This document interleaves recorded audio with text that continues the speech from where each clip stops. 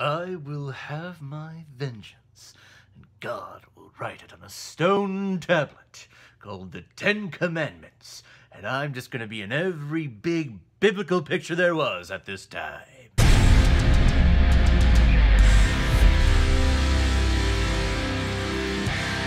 Ben-Hur, released in 1959, and is directed by William Wyler, who's directed such amazing films like Mrs. Miniver and Roman Holiday. And this film stars Charlton Heston, Jack Hawkins, Haya Harareet, Stephen Boyd, Hugh Griffith, Martha Scott, Cathy O'Donnell, and Sam Jaffe. And this film was recommended to me by Gary Hales. Thank you very much, Gary. I hadn't seen this in a very long time, and as I remembered, this is supposed to be a tale of the Christ.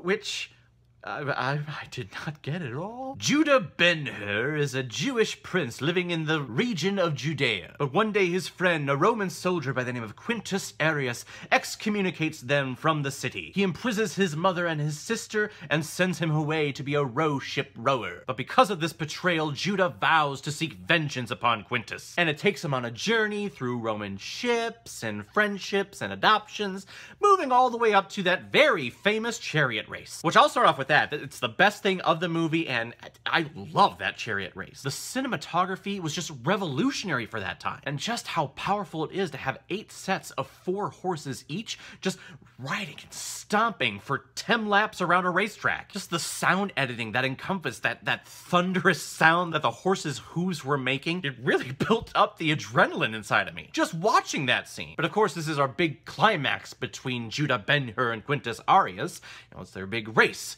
because that's how two guys settle it out and gets their vengeance by a sporting event. Pretty trivial but it was entertaining. And like I said, very revolutionary. This film won 11 Academy Awards, which ties the record for the most Academy Awards won of all time. I believe for the time, it actually set the record, and then Titanic met it, and then Lord of the Rings Return of the King met it. So the film industry, the Academy, was all gung-ho on this movie. Because whenever you have those movies that have those big, large crowd scenes and all those extras, and Technicolor, and loud, bombastic, overly dramatic orchestral songs, of course we're giving it Best Picture. But you watch this movie now and you think, if this movie was released today, which I think it was remade a couple of years ago, which I have not seen that version, but if it was made today, it would not win Best Picture. Because this film is being hailed as a tale of the Christ.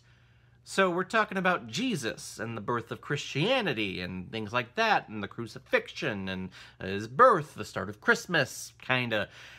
Uh, where what does that have to do with anything? The film starts and it's the birth of Jesus Christ. We have the the fun little spotlight shining down on the on the manger on the outskirts of Nazareth or Bethlehem, sorry. And then we go through the motions with that. We have the wise men coming over. We have the shepherds keeping track of their flocks by night. And then we flash forward a little bit. We see Joseph, Jesus's dad, doing some carpentry work. And then we go over to Judah Ben-Hur and his family and his you know, nice white little privileged house that he has in the middle of Judea. Ah, yes, the good old whitewashing back in Hollywood in the 1950s and 60s. I love it. And we stay with Judah Ben-Hur for the rest of the movie up until like the last Oh, I want to say 10 minutes, but it felt like another hour and a half when we got to that part. So what does what does Christ have to do with anything? When Christ dies, he magically makes the rain all like magical rain and cures leprosy, but there's nothing Christ-like about Judah Ben-Hur and his story. The man was done wronged. His mother and his sister were taken away. He battles in Roman uh, uh, ship battles. He vows vengeance on the person that did him wrong. Didn't Jesus teach like love your neighbor as yourself. Don't do the vengeance thing or spill bloodshed stuff like that. Nothing Christ-like about this story. And we're talking classic Hollywood here because, my god, everyone is hamming it up. If they're embracing a long-lost friend, they spend a good minute hugging and, and smiling and fawning over everyone. Really just make a fucking meal out of it. And the melodramatic score just swells up when, when big things happen in the film. Judah, your mother and your sister have leprosy.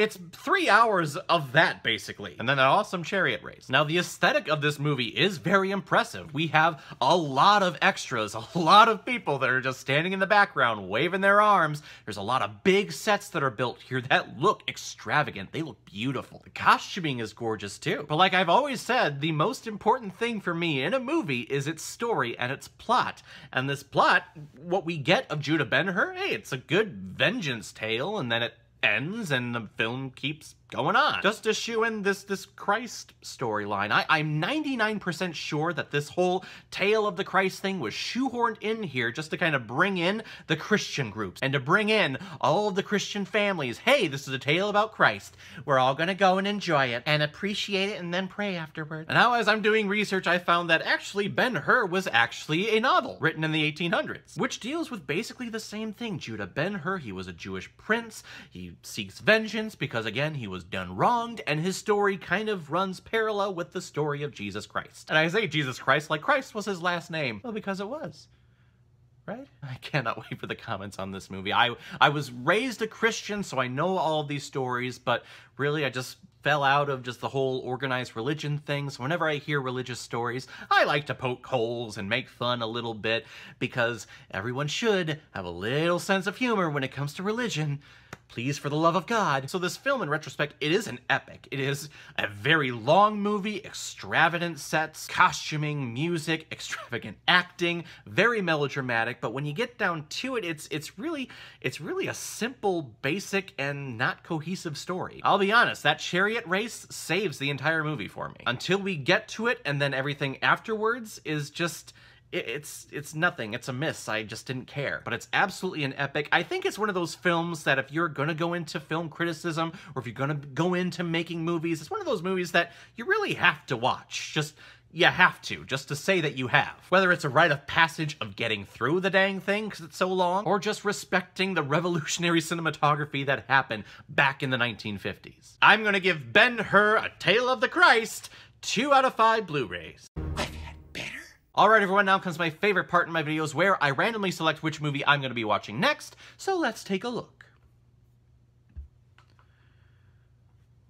Okay, a, a movie that um, I, I, don't think I've ever actually watched all the way through, but definitely multiple, multiple parts of it, just kind of here and there. Patch Adams. God, I miss Robin Williams. That, that death I took so hard, as did a lot of people. And this movie you can always see like in the afternoons on USA Network, TBS, TNT, any of those channels. And I always catch it in parts. I catch one little part here, I catch the dramatic speech at the end over here, and then another part over there, the clown nose here. This, I've never seen it all the way through. So I'm actually very excited to see this. Anytime I get to watch a Robin Williams film that I haven't watched, and just to see him just perform again and make people laugh again, I'm just, I'm always happy to do that. So Excited to check it out. So everyone, have you seen Ben-Hur? What did you think about it? Or if you've never seen it before and you stumbled across it because of this video, please comment below, let me know what you thought about it. And remember, we are trying to hit 1,000 subscribers by the end of 2019. So if you like what you saw here and you like just hearing about people talk about movies,